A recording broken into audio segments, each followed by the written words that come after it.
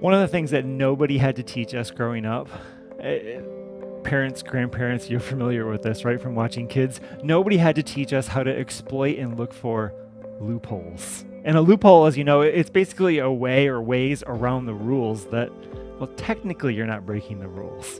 Now, long before we heard of that term loophole, and long before anybody explained to us what a loophole was, we were exploiting them. Good morning. My name is Mark. I'm the pastor of Sycamore Creek in Potterville, and today we are in part four of our series, You're Not Far.